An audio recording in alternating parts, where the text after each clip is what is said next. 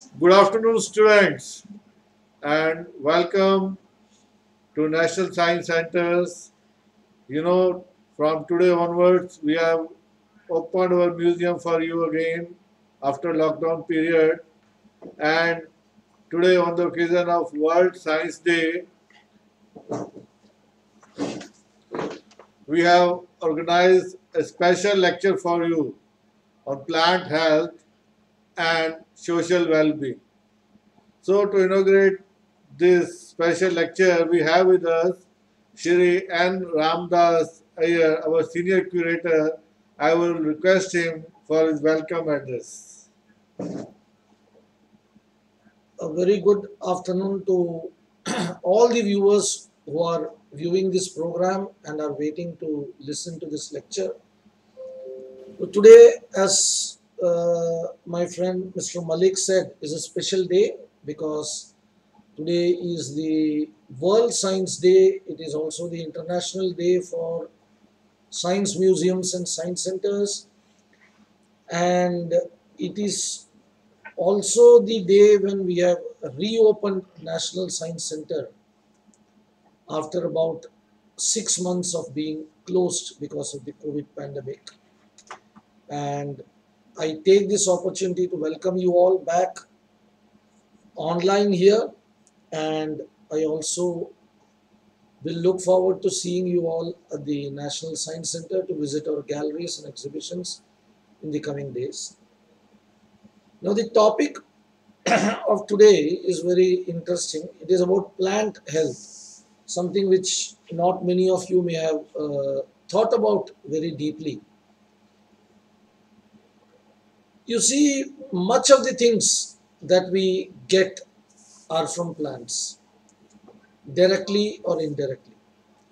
And it is very important that the plants themselves remain healthy. We had uh, last year inaugurated an exhibition here called Superbugs, the end of antibiotics. It is uh, it was an exhibition on whether antibiotics are becoming useless and cannot control infections anymore. Now, as a part of a solution to this major global health problem, WHO has declared a One Health policy. One Health policy is that we cannot be individually healthy. A person, I want to be healthy, I want all my colleagues, I don't care about them, they may be healthy, they may not be healthy, they may fall sick. Or all human beings will be healthy, but I don't care much about animals. Or all animals and human beings are healthy, I don't care much about plants these approaches do not work anymore. And the policy of one health, everything, everybody, even the environment should be healthy because we are all part of the whole. Plants get their nutrients from the soil and from the environment, water, and other things. We consume plants get their nutrients from them. Some animals consume plants, some people consume animals and get their nutrients from them. And then we pollute the environment. We, you know, create a lot of problems in the environment.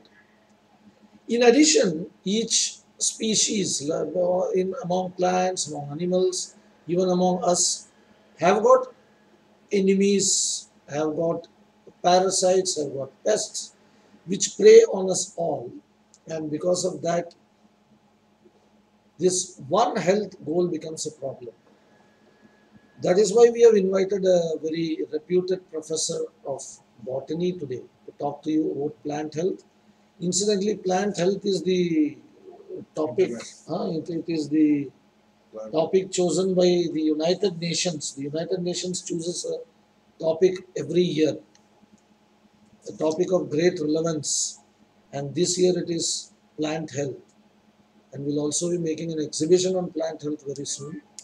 We have a very eminent professor, Professor Kotapalli Srinivas Rao. Uh, I request my colleague uh, Mr. Kailash Chandra to introduce the speaker of the day, after which we'll go directly to the lecture. Thank you all for being here. Good afternoon, viewers, and uh, thank you, sir, for giving me chance to introduce the speaker of the day, uh, Professor K.S. Rao, who is presently professor in Department of Botany, University of Delhi. Uh, he was born on 3rd July 1958, Guntur in Andhra Pradesh. He obtained his PhD uh, in 1987. Uh, a few a few um, uh, minutes before we were talking about his interest. So he has traveled extensively in Himalayas during his field visits and collaborated with various, various several international scientists on various aspects of mountain developments. His present academic work relate, related to natural resource management and sustainable development in Himalayas and biodiversity assessment on crit critical ecosystems in hill and mountain regions. This is where he, uh, his academic research lies. And so far, because he's in the is a very senior post, and he has already supervised 18 PhD students, written 25 books on different topics related to botany, and he has also, to his credit, 150 research papers, which he has presented at various uh, platforms. So he has been awarded uh, Vishisht uh, Puruskar in 2005 by Ministry of Environment and Forest, Government of India. Uh, he is a UGC National Swami Paramanand Saraswati Award he has got for ecology and environment also in 2006 and also Professor Nam Endowment Lecture Award in 2016 by Madurai Kamaraj University, Madurai.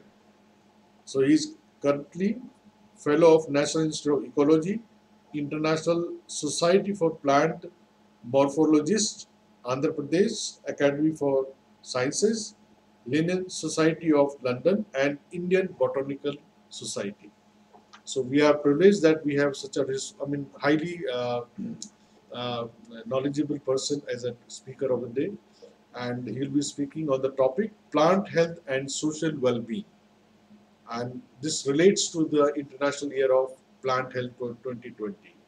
So over to uh, Professor K.S. Rao sir. Over to you, please. Okay. Good afternoon. So let me start my presentation.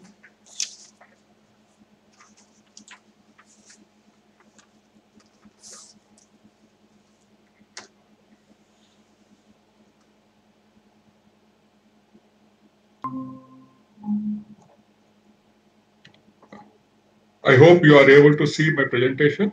Yes, sir. Yes, sir. Okay. so I have chosen this topic, plant health and social well-being, because the social well-being is ultimately what we are looking forward. So the plant health is what we are today interested in. So let us uh, go ahead. So today it is a very important day for us. It's World Science Day for Peace and Development 2020. And uh, we are actually looking forward for this day in terms of the strengthening the public awareness of the role of science for peaceful and sustainable societies and thus uh, to reduce the drudgery that the entire world where the resource uh, anything Hello, is it okay? Yes, yes, sir. Okay. So to promote the national and international solidarity for shared science between the countries and they renew national and international commitment for the use of science for the benefit of the society and lastly draw attention to the challenges faced by the science in raising support for the scientific endeavor.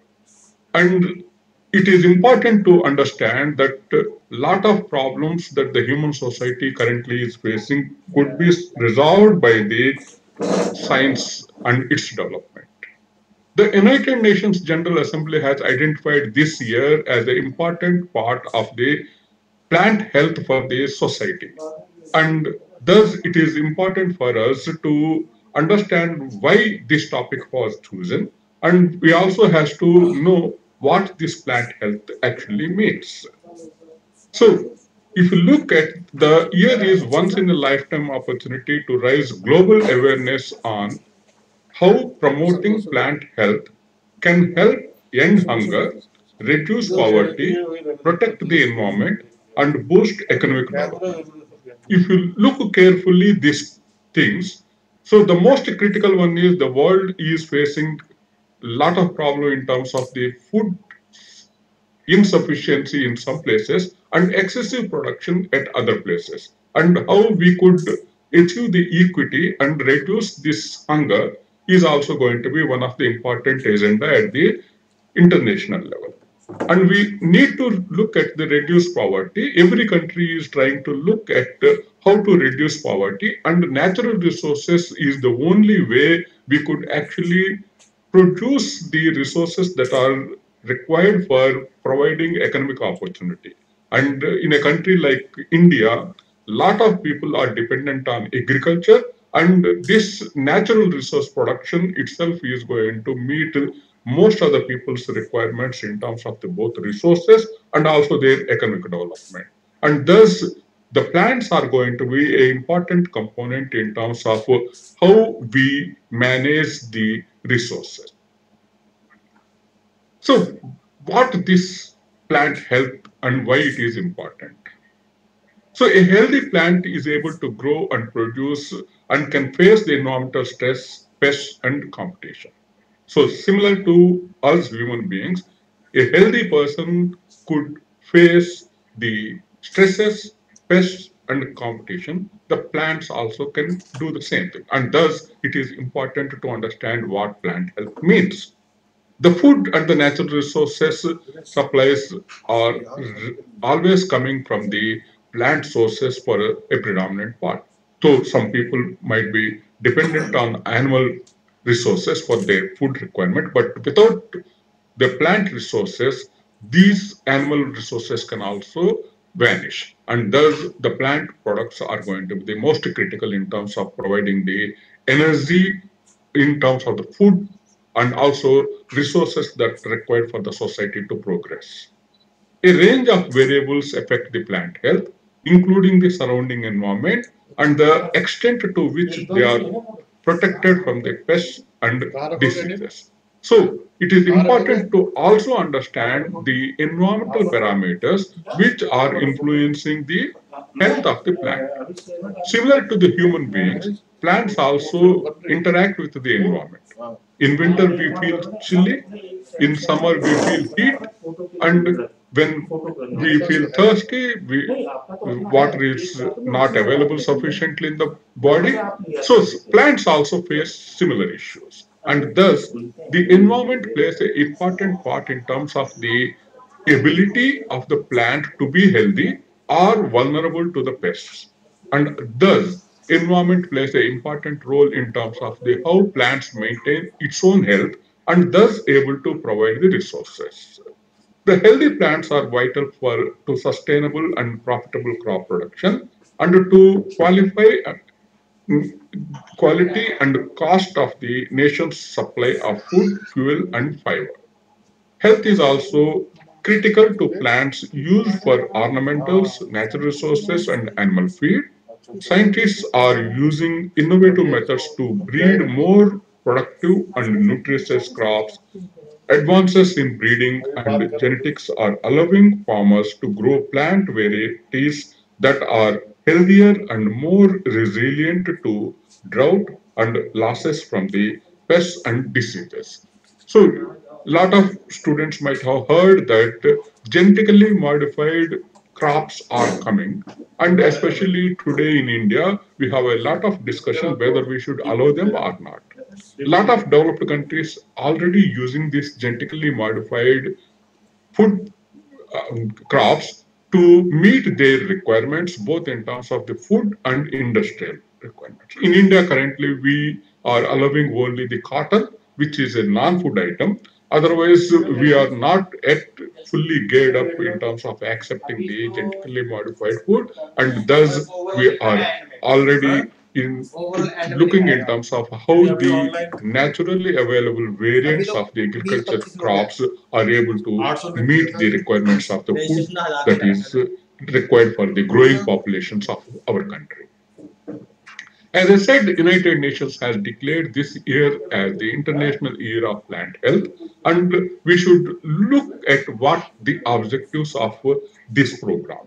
So this year is declared with the objective that raising the awareness of public and political decision makers on global, regional, and national levels about plant health and its contribution to these three factors, and to promoting a strengthening of global, regional, national plant health efforts in light of increasing trade and new pest risks caused through climate change.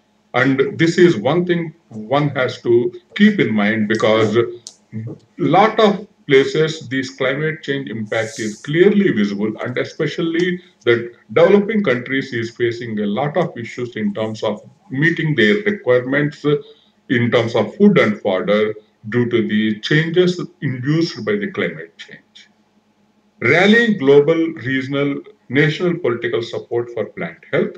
And this is going to be important. If you look at the published work, you understand that a lot of countries take lot of precautions in terms of uh, regulating the products that are coming from the other regions because the pests that are going to come to their countries could wipe out the entire crop production in those regions and thus the countries take extreme care in terms of how to manage these things. So, increasing global, regional, and national resources for plant health policies and systems is the fourth objective that was set for the International Year of Plant Health. So, now let us come to our main topic that is how the plant health is related to the human well being. To understand that, we have to first understand how the human well being is and how it is measured. The human well being is or the society, which I said, humans in terms of me is we are talking looking at the society, anthropogenic society, and thus human well-being is a broad concept, one that includes many aspects of our everyday lives. It encompasses material well-being, relationships with family and friends, and emotional and physical health. It includes work and recreation, how one feels about one's community and personal safety. So you may ask how all these things are related to the plants. A psychometric study that has been conducted in US has shown that young children who were exposed to lot of greenery has more mental peace and well-rounded development as compared to those students who has been constantly into the build-up environments like concrete jungles. And they were always had problems in terms of understanding the, their lessons and all and lot of psychological issues. And this shows that the plants has ability to keep the human brain into a stable state and thus provide soothing environment for the people to keep focused in terms of acquiring knowledge and thus have a capacity building effect in terms of the human development. And thus, greenery and surrounding is going to be critical. It is also said when you are doing physical exercise, if your surroundings are green, you have better effects as compared to the those people who are working more in terms of the built environments indoors under the air, conditions in the gyms. So open air physical exercise is considered to be most important part in terms of the physical exercise for the students and those people who are growing. The Commission on Measurement of Economic Performance and Social Progress identified eight key dimensions that should be taken into account when defining human well-being. So these are the eight. Of these, today we are focusing on the health and the environment which is influencing the health. This health could be both the human health and also the plant health. And today we are going to focus more on the plant health. The measuring human well-being requires the subjective act of defining and creating models and measurements of that which defines health and quality of life. And this we will not discuss too much because it is going beyond the our scope of current today's lecture. To understand why we have so much of diversity, we have to understand how this earth has evolved. So if you look at these pictures, you could see that in the Precambrian period, about 650 million years ago, there is a big ocean within which a small landmass that has developed, which is Gondwana land, and then it has grown and slowly in the early Cambrian Carboniferous period, about 365 million years from today back, it has started moving towards the northern pole from this existing southern pole area. And by the upper Jurassic period, about 150 million years, the continental plates, as we are seeing today, started breaking up. And today, about uh, end of Cretaceous period, about 65 million years ago, before the actual the humans are uh, stepped in in terms of the evolution, has uh, this continental systems has formed, which we are looking at today as the various countries organized in the different countries. And the green areas that you are seeing is predominantly vegetation rich zones that are having the diversity and this vegetation it, the evolutionary period has changed from the unicellular organisms to the multicellular big plants that has been harvesting the greenhouse gases and thus able to help the humans to have better life on this earth. So to understand this, we have to look at what are the plant systems that are existed. And in the plant kingdom, we call the distribution of the plant wealth in various agroclimatic systems as the biomes.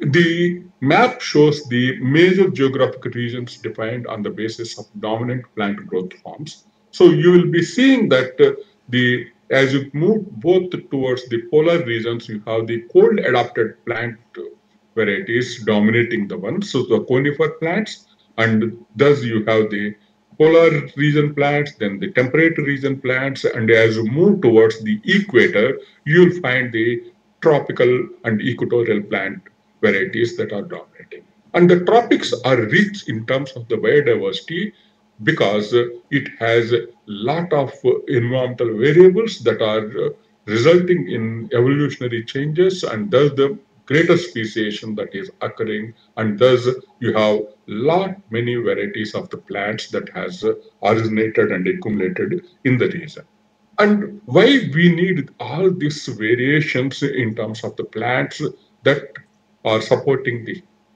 uh, providing the resources for the human society. So let us look at these two maps, A and B. Which one is healthy and which one is unhealthy? So you might think that there are lot many plants and thus this could be healthy and few plants here it is unhealthy or otherwise you say these plants are more thicker so it could be healthy and these are the thinner plants, they are unhealthy. From a different perspective, you could say some are healthy, some are unhealthy. Here, these are old plants and thus still continuing to grow and thus you could consider them healthy. The densities are lower here and thus the resources availability is sufficient for the plants to sustain. Here, the plants are young and they are more dense and there is a resource competition and thus they might be under stress and could be considered as the unhealthy for the time being. But you require to have high densities also to get by the old into a healthy forest which could support the carbon sequestration and thus able to provide the services that are required for the human society. So to understand the what are the signs of the plant health, let us look at.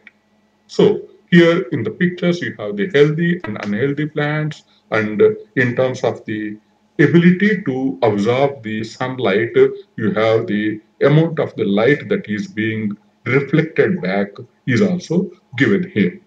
So in general layman terms, we can say the leaves are dark green in color for a healthy plant. It has good flowering if it is in the flowering stage. There are no signs of pests or diseases apparently visible from the observation by our naked eye.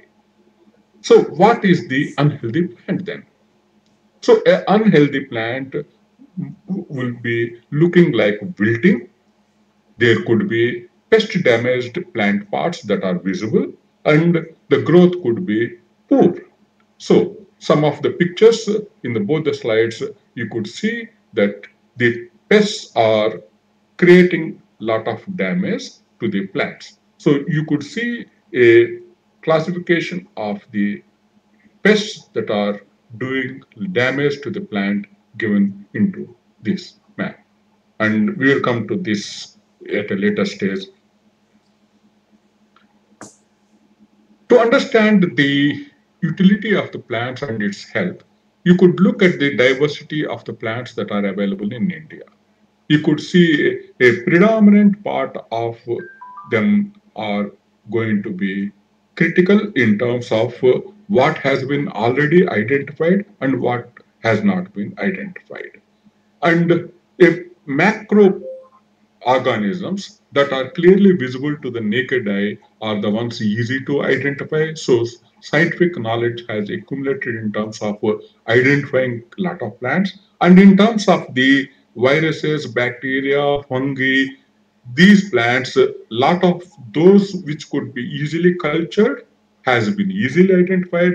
Those that cannot be cultured by the humans, uh, it is difficult to identify, but some efforts has been done using the genetic markers, some identifications of them. And it is estimated that while we are able to identify about 85% of the macro diversity, we were able to uh, document and identify only about 20-25% of the micro diversity of the viruses, bacteria, fungi, and other organisms. And thus, lot of these organisms is still has to be identified, documented. Only then we will be knowing whether they are really useful or creating harm to our society, both either directly it, it, causing diseases to the humans or could be indirectly by causing diseases to the plants and animals which are providing the resources to our society.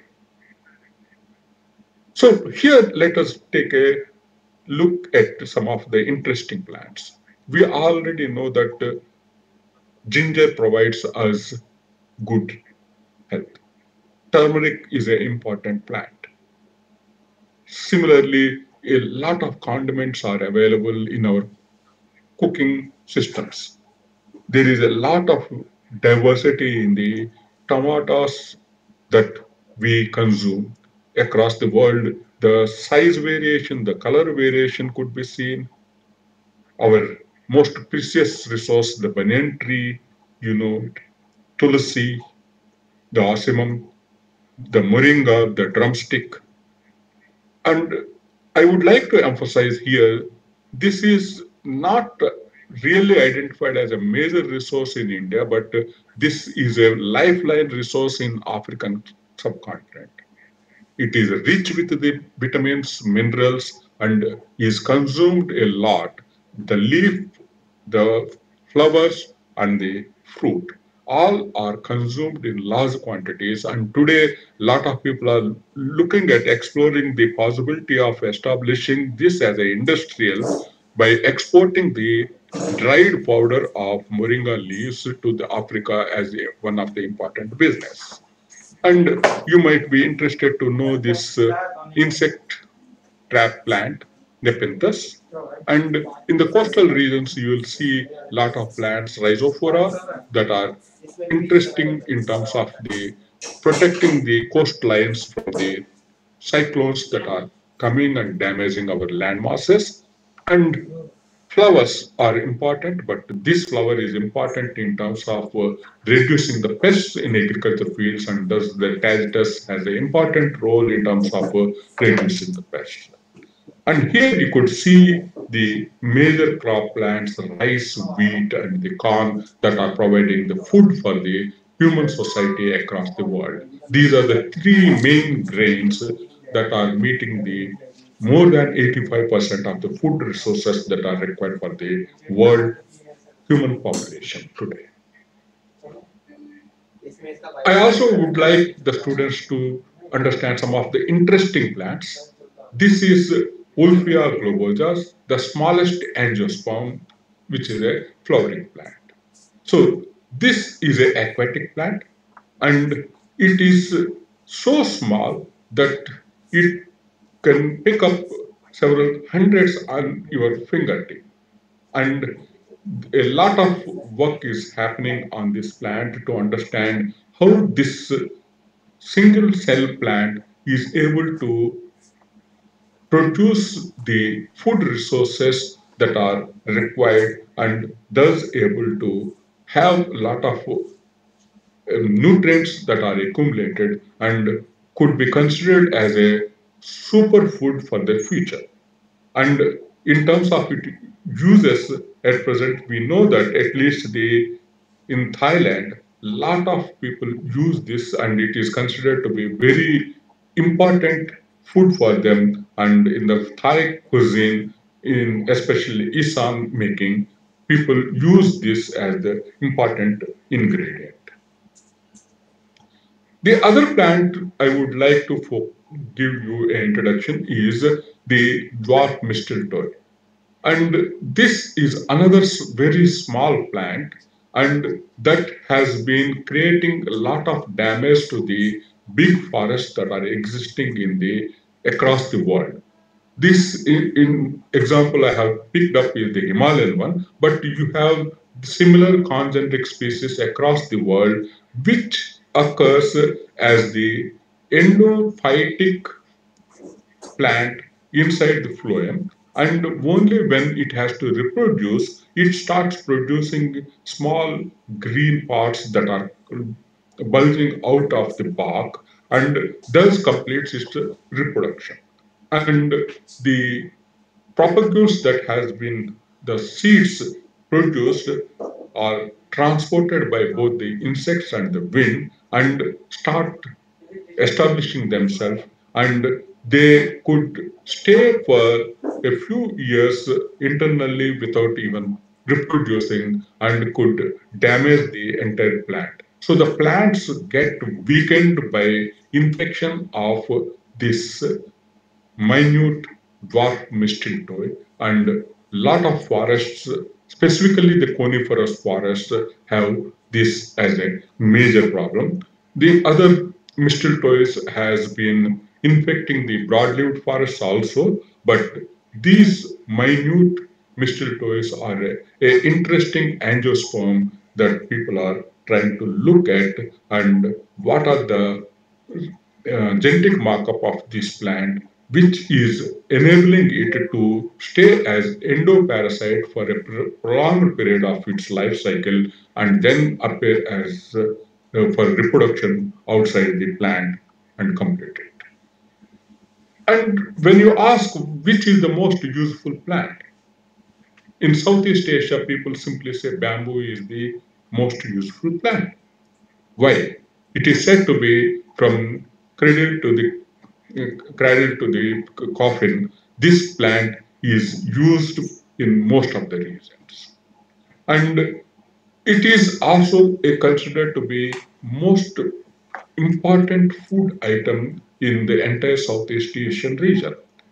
And in Northeastern region, this plant is providing lot of employment in terms of the, both as the food and also as industrial resource. And you could see this entire Buddha is prepared by the bamboo by weavers. And in terms of uh, this providing the medicinal value, in terms of providing construction material, in terms of uh, providing food is considered to be the most important resource and in northeastern region lot of pulp production for the paper industry is dependent on bamboo and thus the best paper is considered to be produced by the bamboo pulp. And today if we are looking at the resources the india is having a lot of diversity of this plant and management of this resource is going to be very very critical for us a lot of plants are underutilized in the region and our food basket is going to be enriched if we properly understand all these plants. You might have seen this jangli jalebi uh, and other plants which are used as the eatables for the children when we are going at the school and the vegetable diversity that you have seen and all these things are getting attention and thus we have a lot of diversity which need to be protected from the pests and pathogens to support the social well-being of the region. And this is the period lot of us enjoy eating this fruit. And in the summers, we use this kafal or myrica and nilambo and all these resources are going to be critical in terms of supporting the food diversity that India has. If you look at the number of species and genera that are supporting the food requirements under various categories of the fruits, vegetables, nuts, and industrial crops, pseudo cereals, and grain legumes, you could see the diversity is very high in terms of the fruits and the vegetables. The grain legumes, as you know, we use three major main grains and then the cereals, uh, pseudo cereals are the other ones which the predominant population are using. Why we should be worried about the plants? the plants provide all the resources and thus they provide a lot of ecosystem services. This is well known. But what one has to see is we also have this serpentic potential value. So we don't know yet for some of the plants what the real contribution of these plants. And thus it is important to protect these plants for future possible discoverable uses to the human society lot of new medicines are rediscovered. It is not, we, don't want to say that they are going to be discovered. They might be already known to our traditional medicine system. But in terms of what is the active ingredient, how to resynthesize them in the laboratories and provide better cure to the people is going to be discovered and thus it is going to be important for us to understand why these plants produce these resources and what these plants are going to be useful in terms of the future for the human society is going to be critical for us to understand. So, why the plant health is important? Plant health is important because plants also have the pests. So, what is a plant pest? The term plant pest means any living stage of any of the following that can directly or indirectly injure, cause damage to, or cause disease in any plant or plant product. So it could be a plant protozoa, a plant uh, protozoan, a non-human animal. Why we have put non-human is humans are also a pest on the plants because uh, they acquire their food from the plants itself. But for the human point of view, all animals which are non-human animals are considered to be the pests because they are taking away the benefits that are required for the human society. A parasitic plant, a bacterium, a fungus, a virus or viroid, an infectious agent or other pathogen that could be identified. So now let us take some snapshots at the pathogens that we know. So the phloem necrosis is happening in the coffee plants because of the protozoans. And what are these protozoans? The protozoans are the ones like the amoeba, paramecium like structures, and these could be infecting the plant. The phloem resources that are transferred the photosynthetic to the various parts of the plant is being consumed or obstructed by the protozoans is actually causing the necrosis and the necrosis is like uh, it is disintegration of the tissues and thus you will not be able to have the functional ability of the plant and this is a major cause of the loss of the coffee production in India and across the world. So the protozoans are causing major economic damage. The other organisms like the fungi, bacteria, nematodes, and viruses, let us look at what they are doing. So the example of the fungal disease signs are rust, leaf rust, stem rust, and white molds and powdery mildews. So you could see the leaf rust, it is happening on the predominantly the graminaceous plants and in the stem rust also. Then Sclerotinia is going to have the white mold. So you will find a lot of wild, mm, sticky like fungal strains coming out. Uh, and then the powdery mildew, which is uh, predominantly affecting a lot of leguminous crops, uh, is going to reduce the crop yields and thus the fungal organisms act as the pathogens could cause diseases to the plants and thus a major problem to the plant health.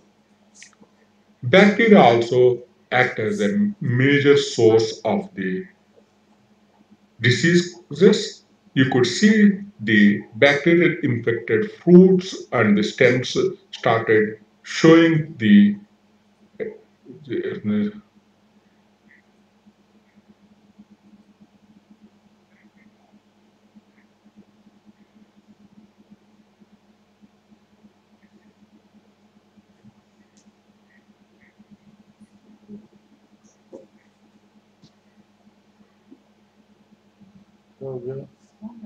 streaming the water. So you have plant pathogens uh, which are causing such diseases.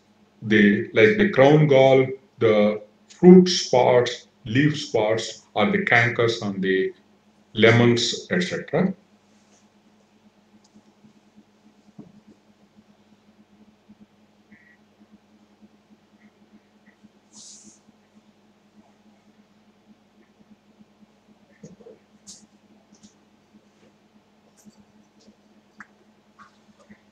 actually and thus is reducing the photosynthetic efficiency of the plants and thus the plants are not able to perform optimally and thus plants are unhealthy. Nematodes eat away the root systems and thus are damaging the plant health and these microscopic animals actually is causing major agriculture damage in the regions wherever they are. And in the plantation crops, these are considered to be the, a major source of yield losses because in the nurseries, wherever the nematode infection is already existing, it could be transported to the other places where the plant material is transported and spreads its acreage and thus could be damaging. And especially in the plantation crops, nematodes are considered to be a major problem, especially in terms of the banana, cashew, and uh, other plantation crops. The phytoplasma is the one which is a lot of interesting organism. It is something like a mycoplasma-like organism which is unculturable. It is phloem limited insect transmitted plant pathogen and it has a structure different from the bacteria, which could be said that it doesn't have a rigid cell wall. And it causes a disease that we call as the phyllody. And phyllody means it's just like, like a witch's broom. So it gives a cancerous growth of uh, plant material and thus you will find that the growth is not uniform and it is not a healthy growth. And insects also plays important role in terms of the as the plant pests and could be hampering the plant health. You might feel that a lot of these are butterflies, moths. They are really interesting plants, but as adults they may not be doing much damage. But as a juveniles, they are all eating away the leaf and thus reducing the photosynthetic ability of the plant and thus damaging the plant health. You have flies, you have other organisms, and these are acting as the herbivores on the important plants for the human society and thus reducing the plant health and thus creating problems to the human well-being. Two of the important pests agriculturally considered to be across the world. this is the white grub. In Himalayan region, it is very, very common. It is called kurmula in Uttarakhand region.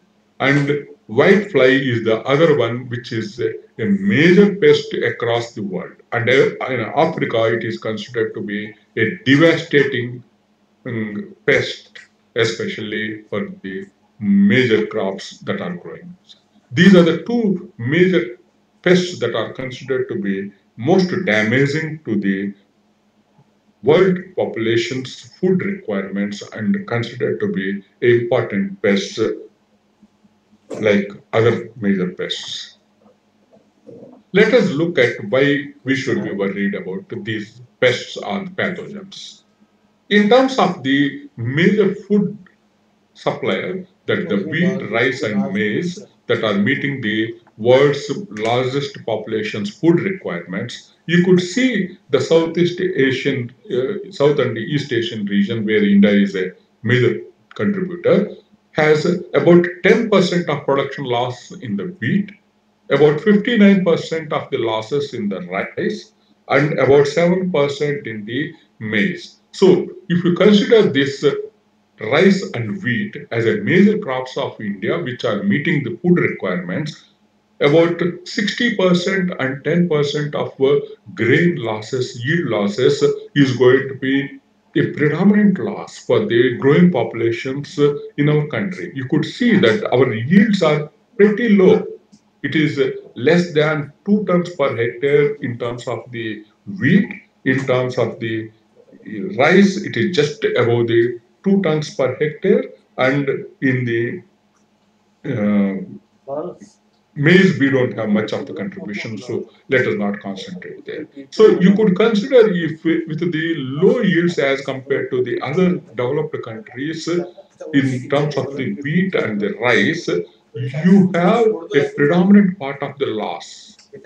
Then we are actually losing more than 50% of the rice yields because of the pests and the pathogens. And if we don't do proper care, we could be actually keeping 50% of our population under hunger because we have lost the yield that could actually meet their food requirements. And thus, understanding the plant health and how to maintain it is going to be critical for the human well being or the social well being for the society like us.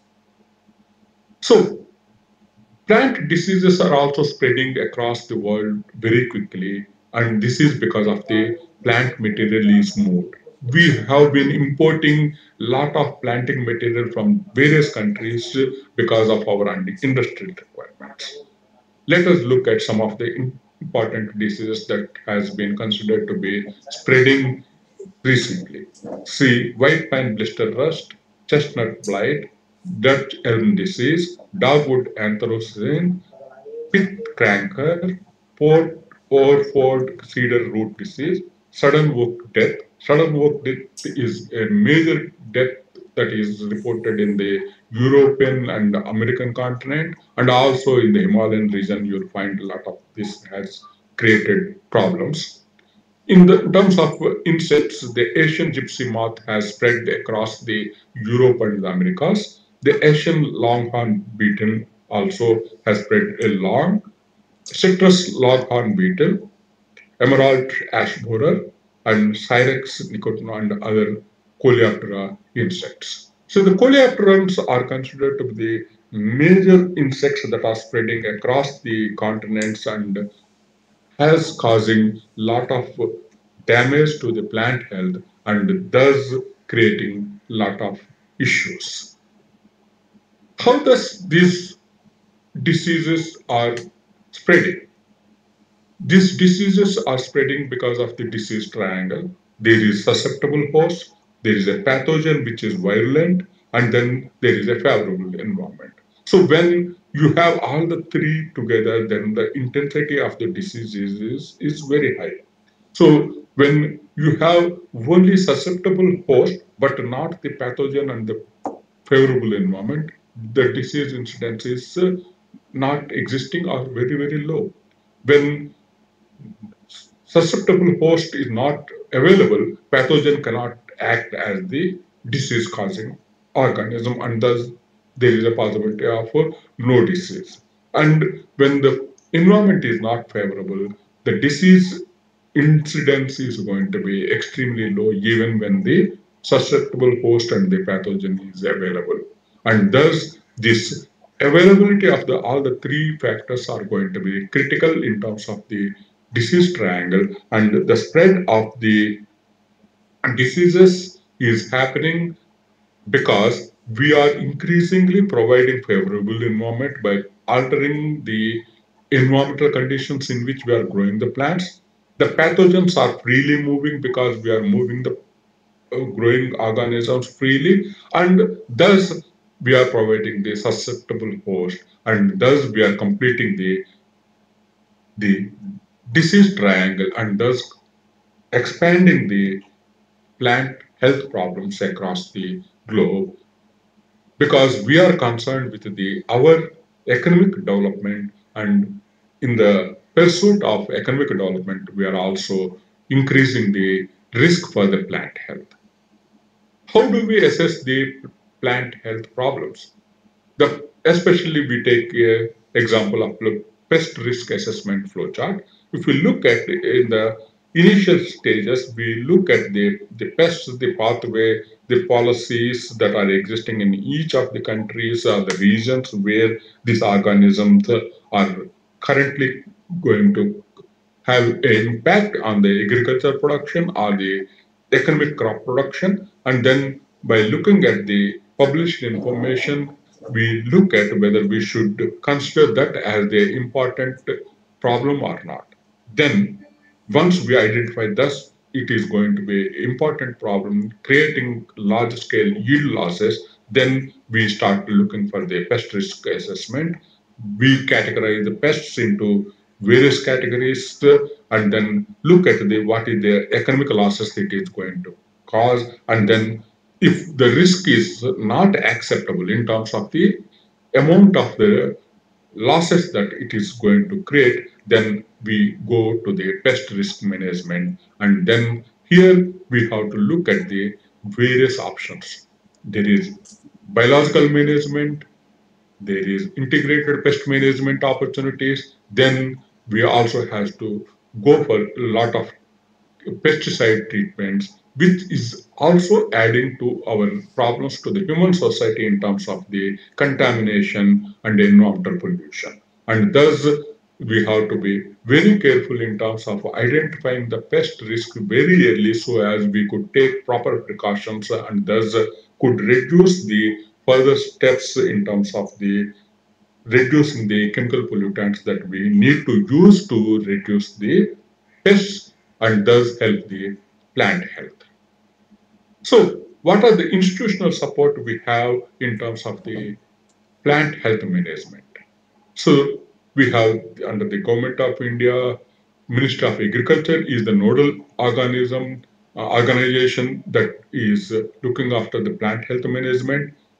The Department of Agriculture and Cooperation is the organization vested with the powers, and the Directorate of Plant Protection, Quarantine and Storage, which is headquartered at Faridabad, is the one which is looking after these, and it is looking through its various stations and the organizations that are under it to restrict the spread of the diseases and thus able to maintain the plant health management facilities that are required for the better management of plant health in our country.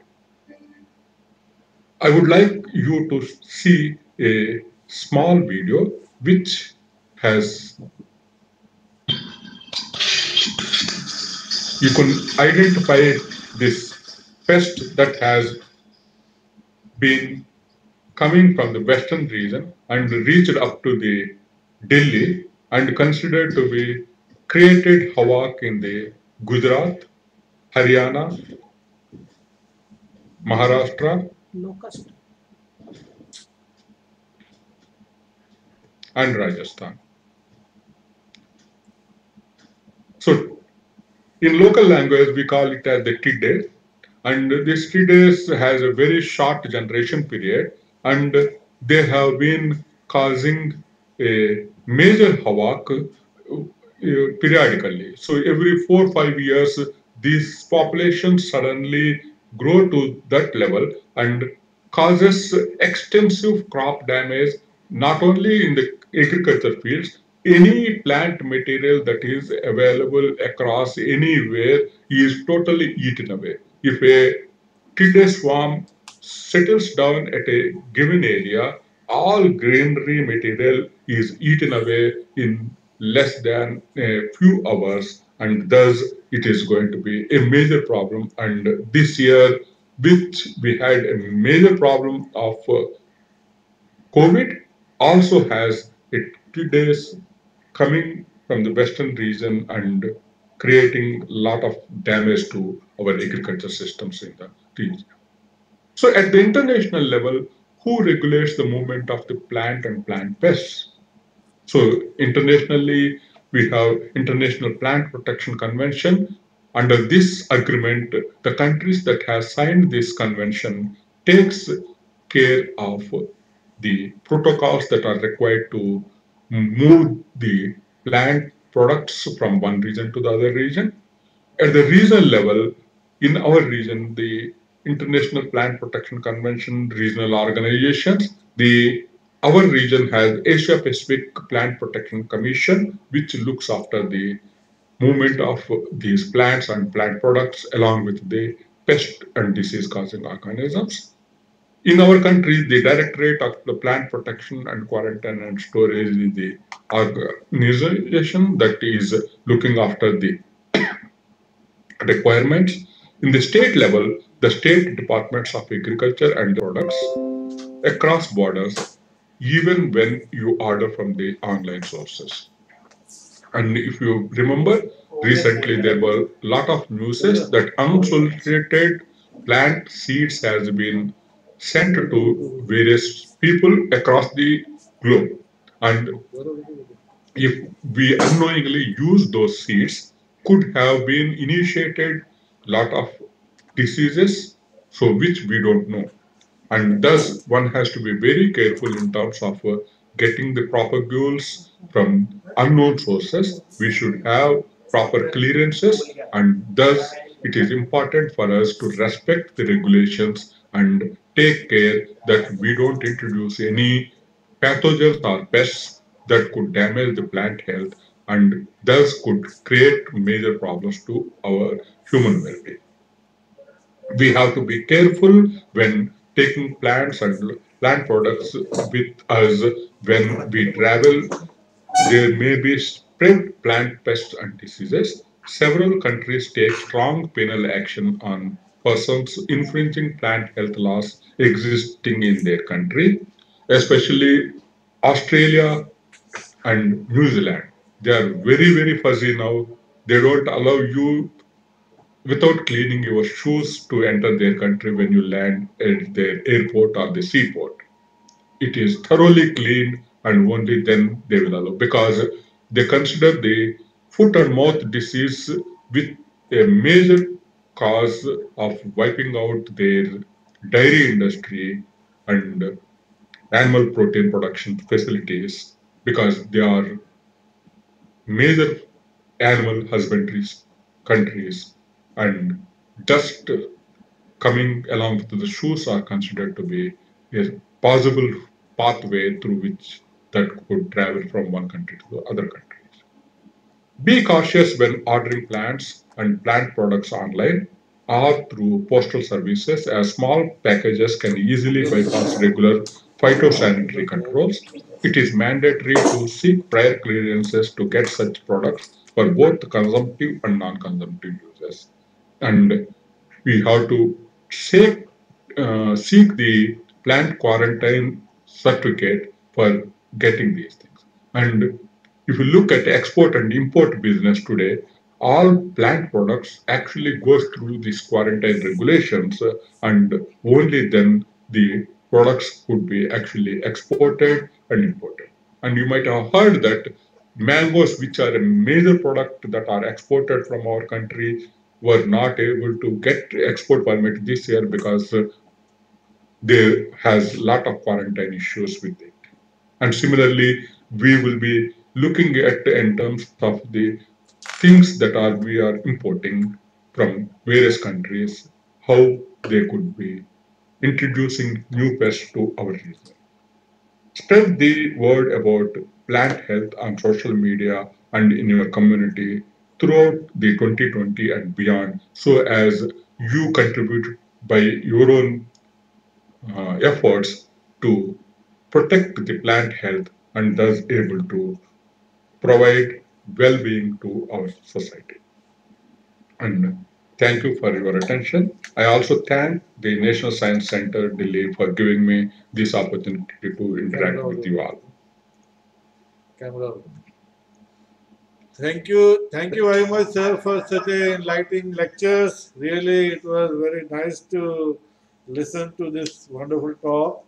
Even I think people have some questions. I will request all the audience who are uh, listening, uh, seeing this uh, uh, lecture through YouTube, may post their question on chat box so that we can ask Professor Rao to answer them. In, in, meanwhile, I would like to uh, introduce Professor Rao to one of our colleagues. She is actually your student. Hello, sir. So Yeah. she suggested your name for the lectures only. So yeah, Professor Rao. actually, Yeah, any questions? yeah, my Yeah. question Go ahead. is the way actually we are emphasizing on quantity to produce crops. How much quality is reduced? Are we doing some research in this field? We may have, See, when we are talking about agriculture production, at least, yeah, both quantity and quality both are taken care because the varieties that are released are specific to specific agroclimatic zone. This means that we are releasing a quality variety that are suited to specific agroecological zone, and thus we are able to provide quantity also. No, for example, actually now there are two types of tomatoes in the market. Yeah, Okay. one, one is The desi and the desi English. you are talking And about. you see that the, everyone wants to have a desi tomato more, although they are also selling the other tomatoes. But the people want desi tomato still. That means the bitterness the other taste uh, you find only one type of uh, tomatoes. So See, uh, here is the uh, trade-off. see, when you want to increase the production, you will be losing some of the important traits of the plant. So by increasing the fruit yield, you will be reducing the plant's ability to invest in terms of producing some of the secondary metabolites. So what happening is desi variety, which is good in terms of giving that tinginess, is not having good shelf life. To increase the shelf life and the increase in the product, the genetic breeders has done a breeding strategy through which they were able to introduce the characteristic, the traits that are required for increasing the shelf life and the yield has been introduced into it. And thus you are having the hybrids which have longer shelf life and better yield. Okay. One more thing which I would like to know from you. A lot of pesticide and fertilizers are used for productions. So urea mainly. They said that urea has, which we are using for increasing production, has impact on human also. Is there some study which uh, says all these things that it's just myths popular among us? See, the urea is a nitrogenous fertilizer. Yeah. It's uh, can contaminate the groundwater. So, in the places where the human society is predominantly dependent on groundwater for their domestic needs, like the drinking water, could have some health effects because excessive nitrogen in human bloodstream could cause the blue death disease. So, you have this problem. But predominantly, urea is volatilized, and thus you have the uh, less problems. So, increased use of urea, if the environmental conditions are not favorable, could lead to pollution. But when the conditions are good, the plant uptake is so fast, I don't really see that it is. It is basically the problem is the farmers are using the urea in a proper dosage at the proper time or not. Sir, one Tabassum Rocky has put a question in chat box. How can large scale organic production can be improved without using any chemical fertilizer? You see, we cannot meet the entire food requirements of the growing populations only through organic production. Okay, so there is limitation certainly. But at the same time, you could have chemical agriculture in those areas where environmental conditions are conducive so as you could have the maximum production. And in the regions where environmental conditions are not conducive you could still continue to have the organic agriculture. The major part like the western ghats himalayan region are still considered to be predominantly organic states. And if you look at the government policies also, Sikkim has declared itself as the organic state, Uttarakhand has declared itself as the organic state, and predominant hill agriculture is still organic because the amount of the fertilizers and other pesticides are used in very limited quantity in such areas. And thus we have to have a trade-off between the industrial agriculture versus organic agriculture you should look at meeting the food requirements of the growing populations and also has to balance it out with the the environmental conditions in which the organic agriculture could be expanded. Sir, there is one more question. Is there any mosquito repellent plants? Artemisia is considered to be one of the important. So in, in uh, um, natural systems, you use it as a dhoop plant. You, you, you could artemisinin is also extracted as the medicine also now for the malarial diseases, and uh, uh, in uh, biological control agent, the Tagetes oil, which is extracted, is used to control the malarial mosquito larval. Uh, so can you guide this because most of our will be students what career Yeah. prospects they can have in this field See, uh, it, uh, plant sciences itself is the major backbone in for the life. So if we can understand the properly the functional activities of the plants, there is a lot of possibility. Currently, if we are looking in terms of the microbiology, we have so much of industrial opportunities in terms of industrial microbiology. Entire medicinal production from the biological sources is totally dependent on our understanding of the microbes.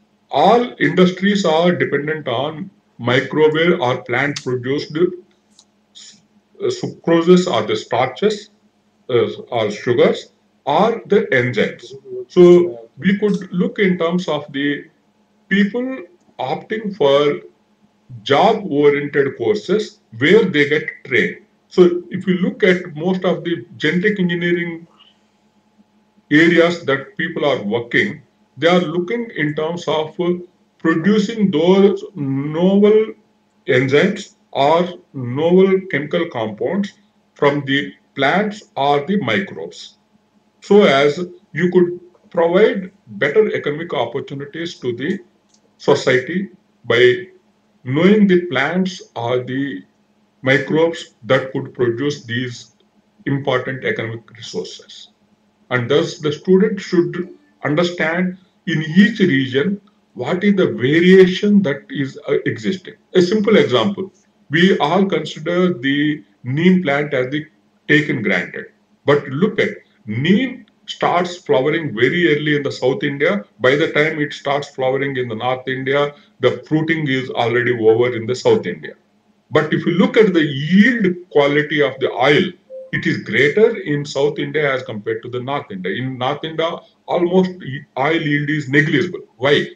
The abiotic conditions, the dryness that is required is not going to come during the critical period that is required. So it is important to understand what are the characteristics of environmental parameters that are required for the plant to have these secondary metabolites so as we can have a better production. Israel is progressing in such a way in entire desert conditions without much of water availability. They are able to produce all the food requirements, all the industrial resource requirements in their country within the protected agriculture they are having, and also able to export resources. That is the important thing one has to learn. So, if we can understand how to produce plants in protected conditions, we will be able to provide with limited land and water resources the food requirements or the industrial product requirements for the future generations. So thus students could understand these requirements easily from the, their education. Sir, one last question. Uh, actually, recently locust problem टिड्डी दल जो आया था तो people started beating drums and thalis and other things. Does this really helps?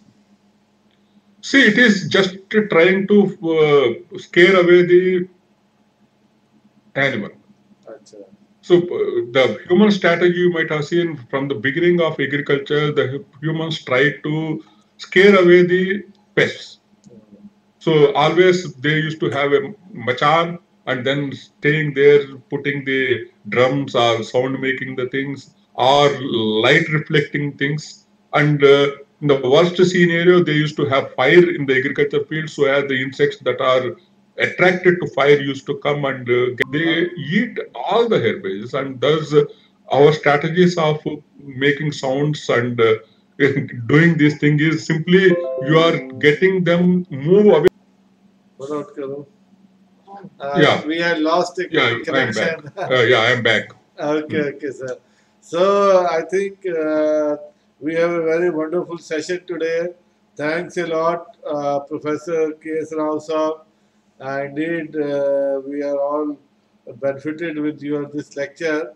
And uh, since our museum has opened now, we would like to have one more lecture from you live in our auditorium. And uh, as the schools start open, we'll plan for a live lecture again at our center. Thank you very much Maybe I think that for the students, uh, the diversity, plant diversity is going to be more interesting. So we could uh, show them with a lot of pictures the diversity of our country. Yes. Uh, probably we could organize it whenever it's uh, possible. yeah, yeah, yeah. Thank you very much, sir. Thank you very much for sparing your valuable time, sir. So nice. Okay, well, Thank you, sir. welcome. Thank you, sir. Thank you. And thanks to all our viewers also on YouTube.